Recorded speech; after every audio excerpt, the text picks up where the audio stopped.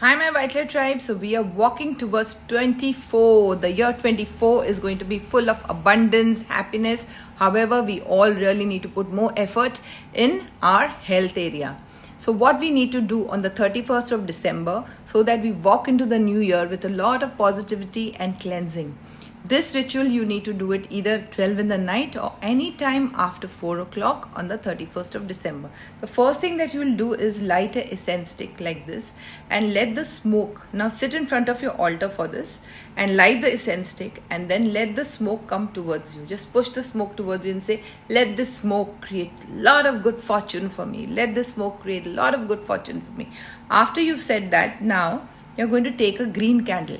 Green candle you will say, Let this fire light all the good things in my life. This fire will manifest all my goals, okay? And also fire up all my manifestations. Keep saying this three times. After you've done this, you take a pinch of salt, put it on your tongue. Let, with the help of salt, Mother Earth, help me in all my manifestations all the good things that I want in life. After you've done that, take a glass of water, imagine what you want, drink the water, and say, This water is cleansing my mind, soul, and body. And then sit and imagine your manifestation or your